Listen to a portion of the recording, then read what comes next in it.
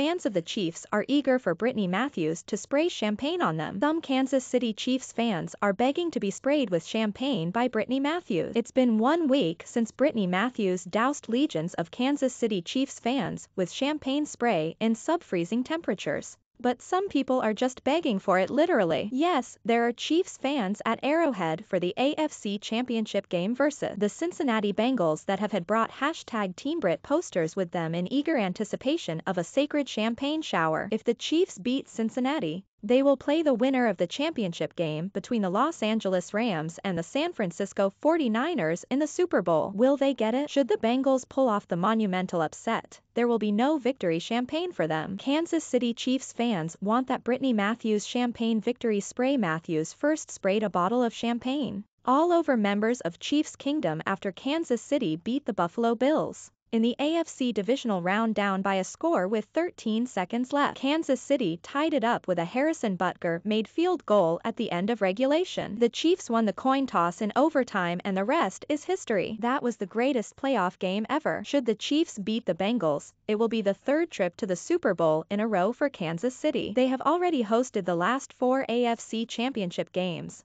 So one could argue it is Super Bowl or bust every year now and going forward for the Chiefs. Kansas City would be favored over either the Rams or the 49ers in two weeks. Even if it is technically a Los Angeles home game. If the Chiefs prove victorious over the Bengals, then these fans need to find the Mahomes suite. Related story Chiefs fans rejoice over Raiders hiring Josh McDaniels read now.